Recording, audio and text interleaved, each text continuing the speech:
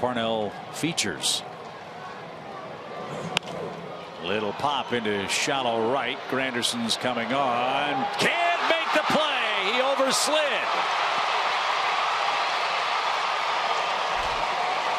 Curtis Granderson tried to make a sliding catch, and the ball ended up over his head. And two runs have scored. I think once he committed to his slide, he lost it. Lost it in the sun. I agree, Tommy. The lower he got, the worse angle he had with the sun.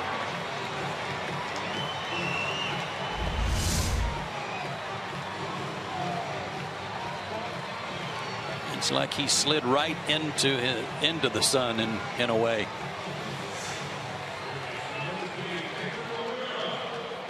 So a three hit game for Garcia and a three RBI day. Now Olivera bats and is 0 for 2.